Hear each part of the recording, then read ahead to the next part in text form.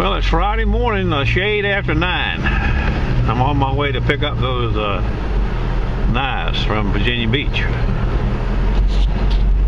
I showed you the knives I got yesterday afternoon.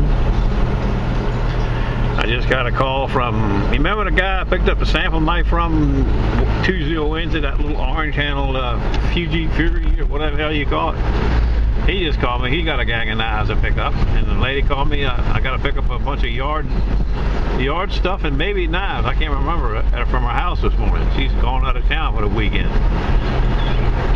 So it sounds like Friday's going to be a big knife dig. Uh, what do you call it? A ripper of a knife day. We'll see how it goes. Stand by. We're uh, outbound. Well, I got one set. They're wrapped up in this bubble wrap. There's uh, two big Sabatier slicers and six or either eight uh, old Sheffield pearl handle steak knives. 50-50, serrated on the front, bladed on the back. He said it's had them 40 years, all of them. Okay, we're headed for the second pickup. Well, that's not actually true. We're headed to the post office first to drop those, uh, uh, what were they, Cutcos, some three Cutcos I bought at the flea market. I mean, at the, uh, what do you call it, thrift store. I got to send them to Illinois. They're going to Illinois. Okay, back to you in a minute. You see a big fat towel wrapped up. You know, it's got a lot of knives in it. oh God, you ain't gonna believe it. Stand by. Edge trimmers, great big loppers, two pair of pruners. All right, let's take them as we got them. Bubble wrap knives, two nice sabatiers, six, no six, yeah six steak knives, stainless steel Sheffield England. No. Yeah, stainless Sheffield England. He said he's had them a long time. 40 years maybe. That's six of those. And then the next guy in the big blanket got a carbon, big carbon chef's knife. And it's a Sabatier as well. And this one is a lasting cut. Mm. An international Henckel. Spain. This one, I presume, is uh, another international Henckel. Don't have to be, but I think it is. No, it's wore down bad. Same as this one.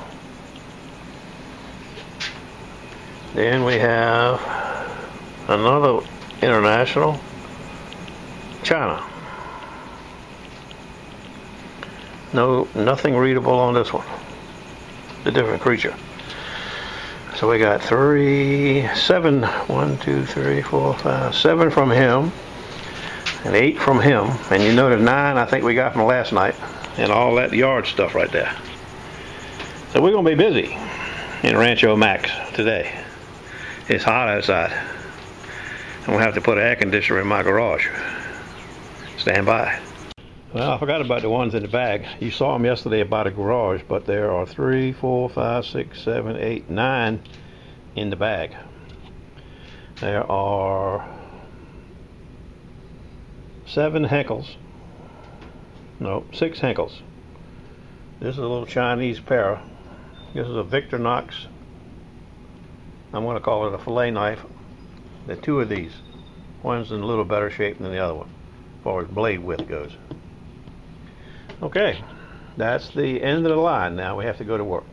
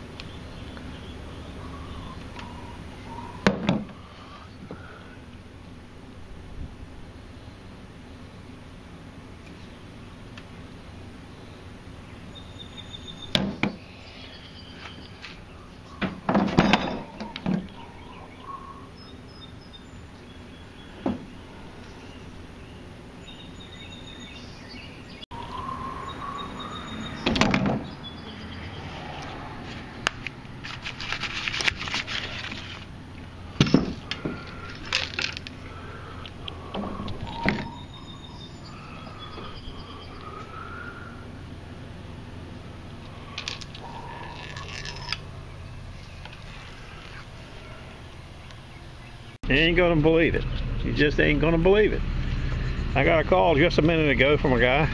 Want me to meet him about five minutes from where I live. He said, Max, I need your help. I got some knives I need you to work on in this bag right here. Stand by. First I gotta give you the story. I got the bag empty.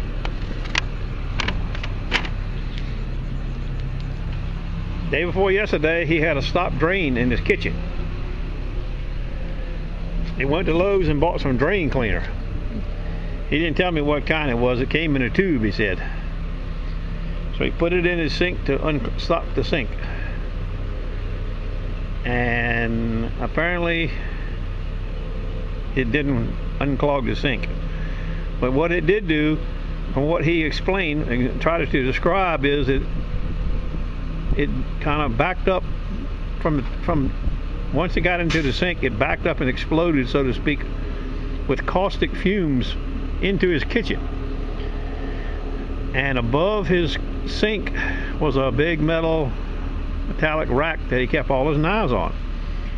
And his silverware was in his dishwasher and it backed up into the dishwasher and I don't know how to explain it to you other than to show you.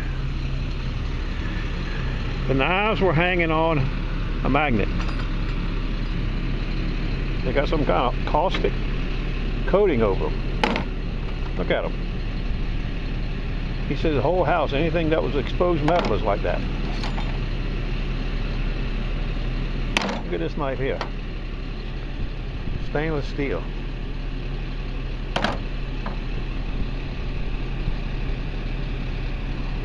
The spoons were in the dishwasher in the silver tray.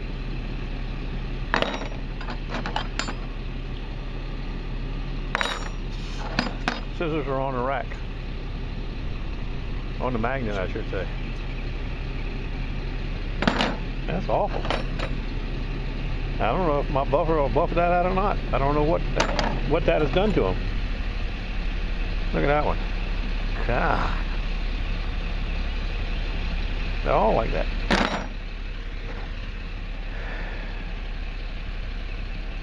We'll have to see. A new adventure, a new path we're going down.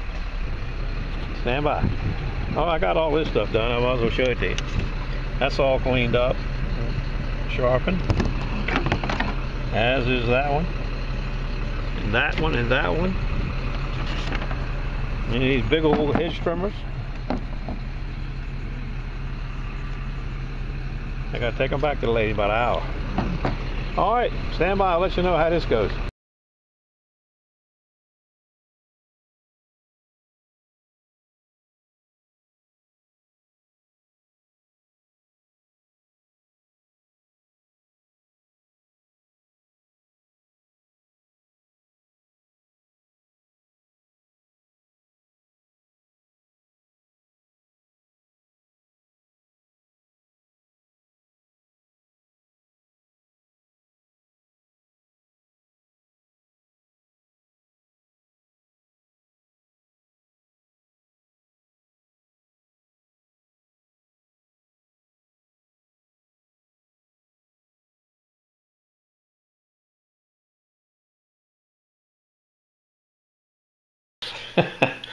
well, I dropped off all the knives.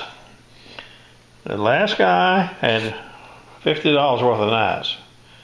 He paid me in $2 bills. Brand spanking new, all consecutive numbers. He said, if you was in the Navy, you'd understand. I said, okay. 40, 24 $2 bills. And one, he folded up in a t-shirt. Supposed to look like a t-shirt. I think the grandkids will get some of these. 40, 24 $2 bills. Actually 25. I forgot about the folded up one. You never know. See you later.